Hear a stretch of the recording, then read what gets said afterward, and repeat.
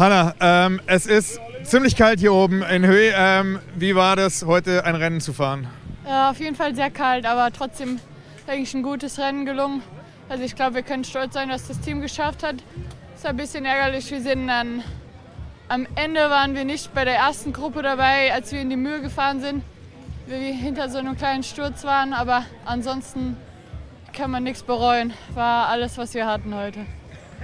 Wie war das Gefühl, als ihr am Start standet und es auf einmal angefangen hat äh, zu schütten? Es war eh schon kalt und dann das Wasser dazu. Ja, war kalt, aber trotzdem war, ja, ich meine, es kann passieren, das ist halt der April.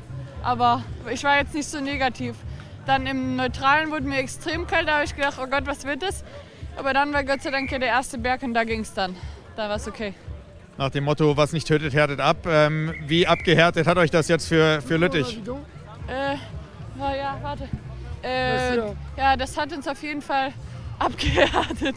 Äh, ich hoffe auf ein bisschen besseres Wetter am Sonntag, aber es sieht ja ähnlich aus. Da haben wir ja schon mal das trainiert jetzt. Aber formtechnisch freust du dich auf Sonntag oder? Ähm, Ja, ja, eigentlich schon. Ja, ich freue mich. dann viel Glück da, danke dir.